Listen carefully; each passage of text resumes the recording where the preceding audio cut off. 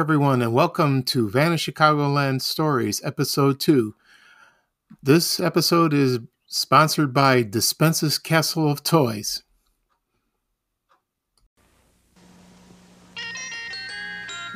Girls boys, come and see the greatest toy store in history. Dispensa's Castle of Toys. It's a castle. Dispensa's Castle of Toys. It's a toy store. Dispensa's Castle of Toys. It's tremendous. Come to Dispensa's Castle of Toys, Oak Brook Terrace, Illinois. Dispensa's Castle of Toys is a quarter mile north of Oak Brook Center, Route 83 and Roosevelt Road. Welcome back, everyone. Uh, this is the Vanished Chicagoland Stories ep- episode two for this podcast. I am your host, Pete Costanis. I am the admin of Vanished Chicagoland Facebook page. I'm also the uh, writer for my blog, which is Vanished Chicagoland Stories, which is the same name as the podcast, and that's located at www.vanishchicagoland.blog.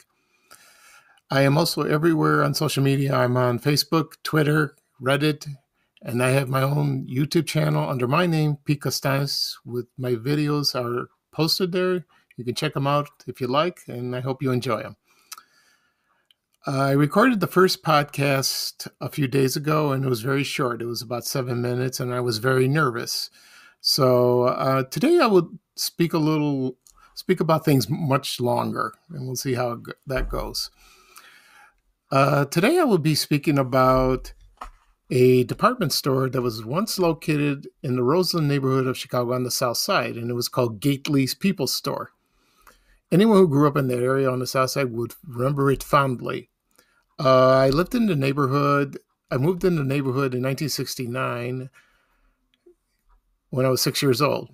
And uh, the Roseland neighborhood was very vibrant at the time, and we lived above a shoe store called Shift Shoes. My father owned the property there for many years, and it was uh, located on Michigan Avenue.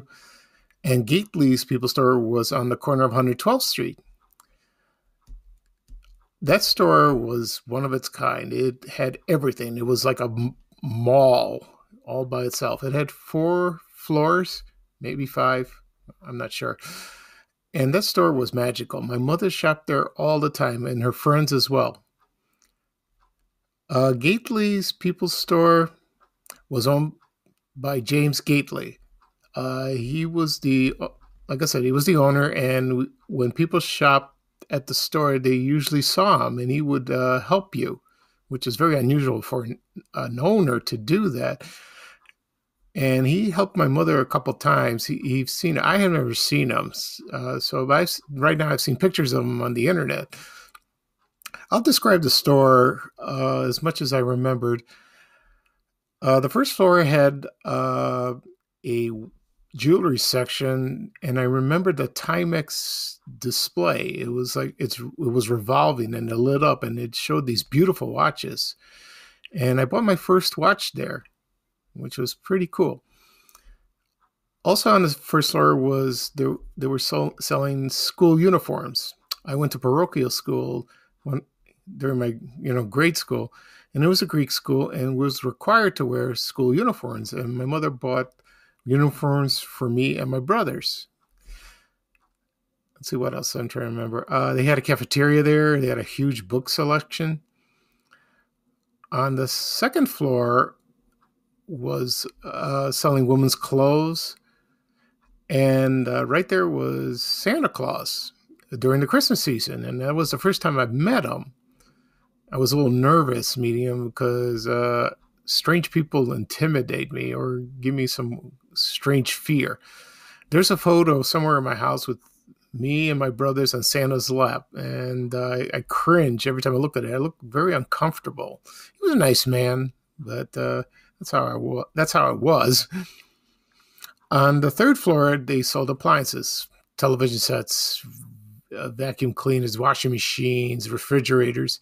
I remember seeing the brands of television sets. Uh, they're no longer around, like Zenith, Admiral, Magnavox, Quasar, uh, R- RCA. I'm sure RCA is still around.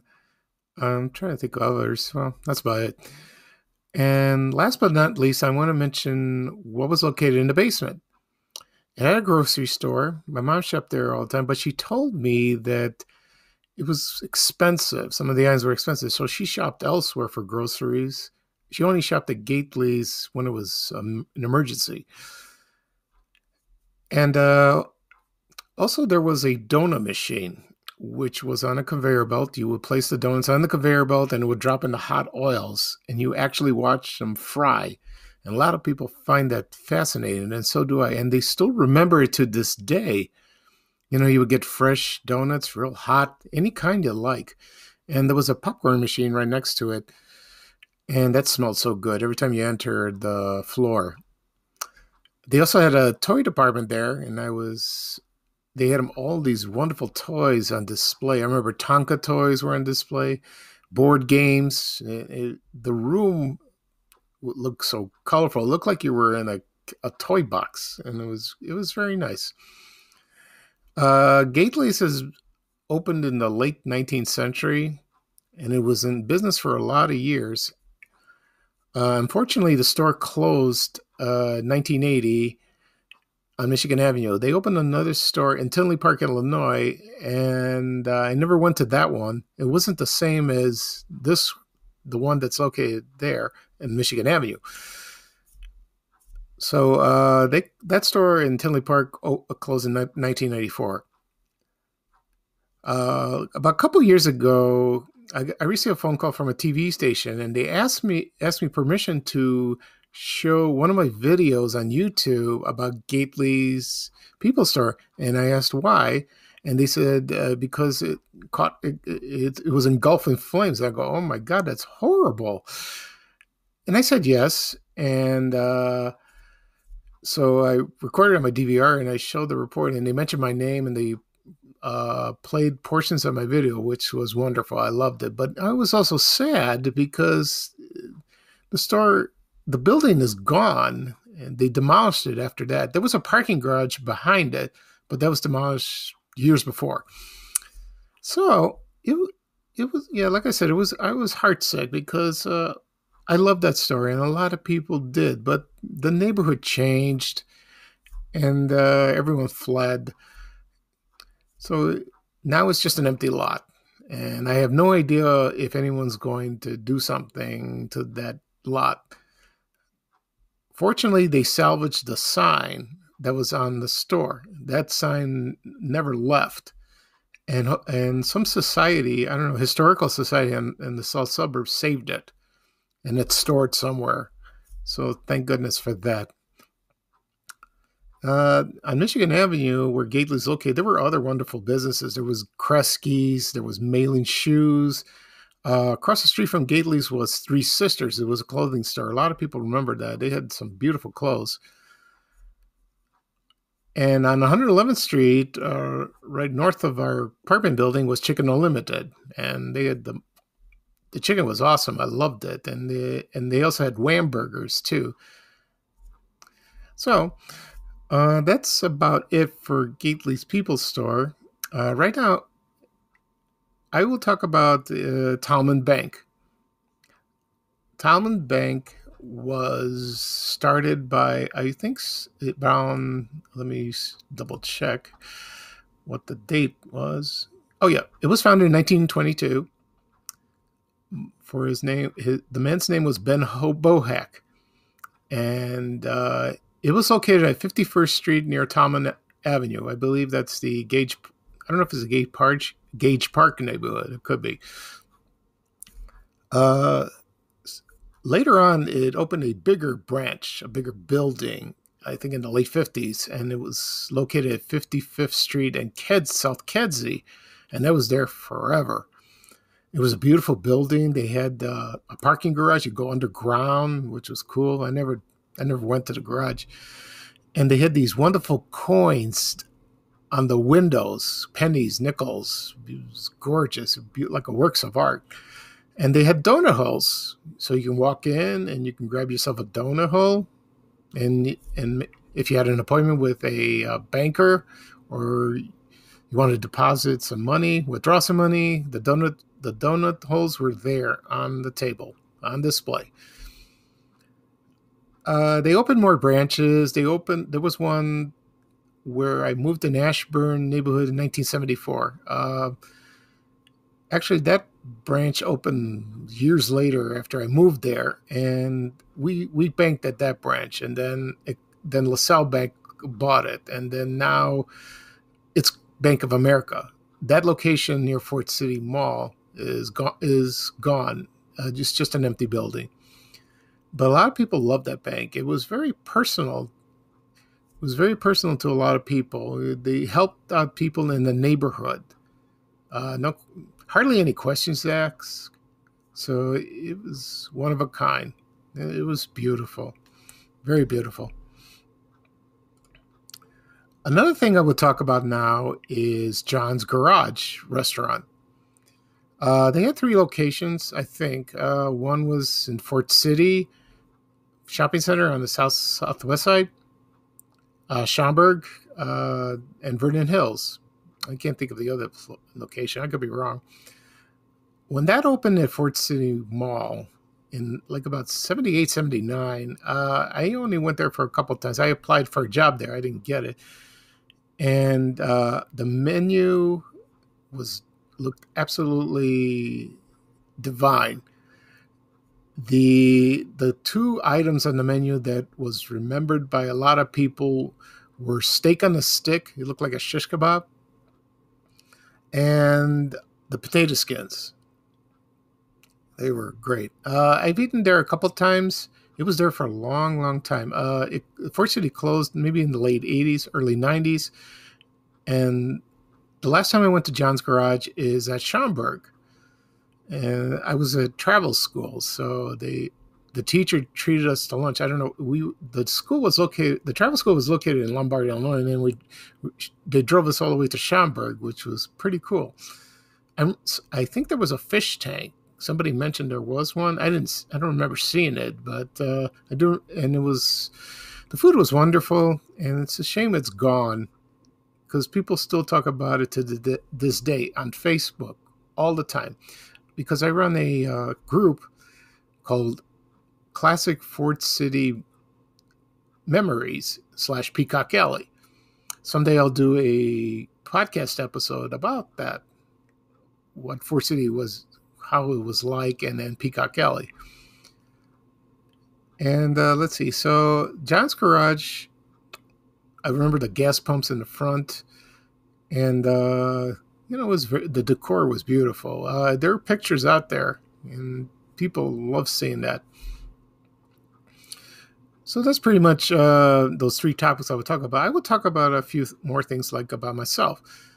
How uh, people ask me how did this uh, Facebook page started, which was which is Vanished Chicagoland. Uh, about 2012, well, actually 2011, uh, I was sur- surfing Facebook and I noticed a page called Dispensa's Castle Toys, and it was a toy store that went out of business. It was located in Oakbrook Terrace. And I saw the page and I was wondering why are they why do they have a page about a business that's no longer there? And I found later on I found out it, it was a tribute page and they had pictures of the toy store. Next door was Kiddie Kingdom, the amusement park.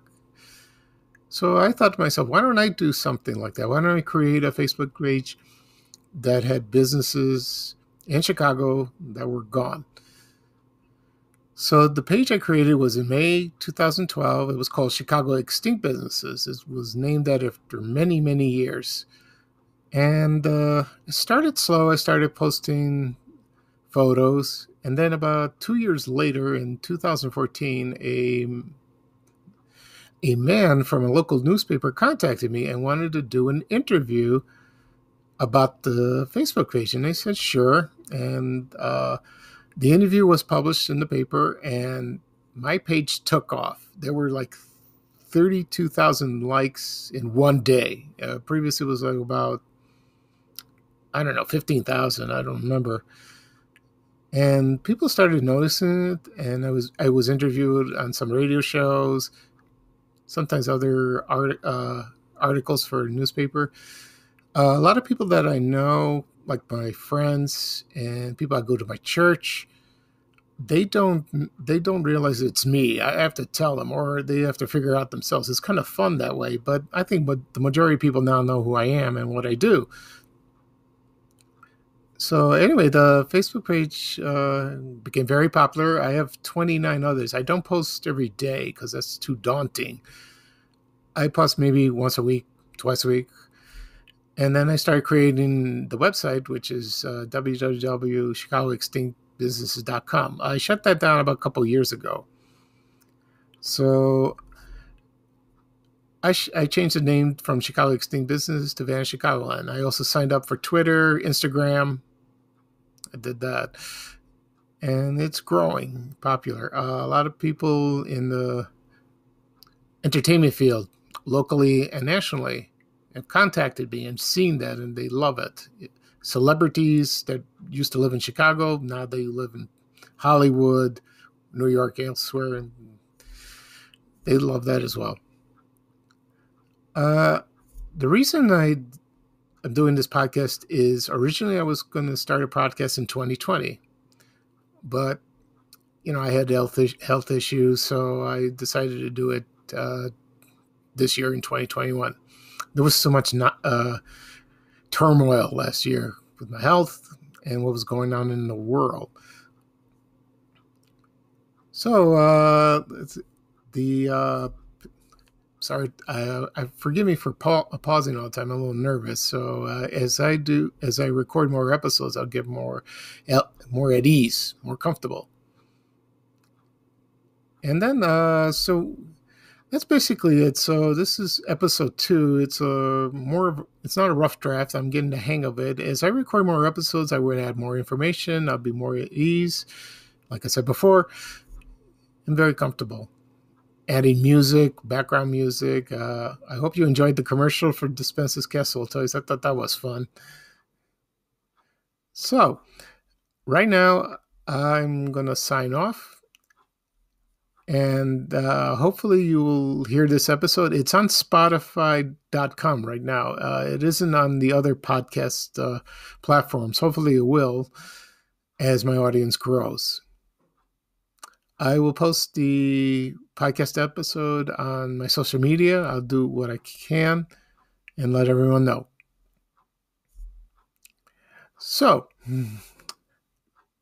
this is episode two of the Vanished Chicagoland stories. It's about Gately's. I spoke about Gately's People Store, Talman Bank, and John's Garage Restaurant and hopefully I will hear from you. I uh, hope I will talk to you soon on episode three. It should might be next week sometime uh, if I have time to do it because I'm very new at this.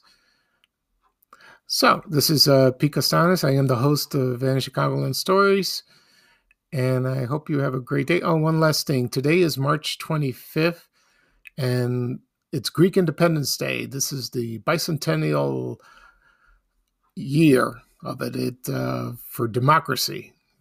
As to my family and friends, Zito Elada. I hope I said that right. My Greek is rusty. I don't speak it often. Okay, so th- I am signing off now, and uh, this will be the end of the show. Thank you very much for listening, and hope and uh, and hope you can tune in. This is Pete Costanis signing off. Bye bye now.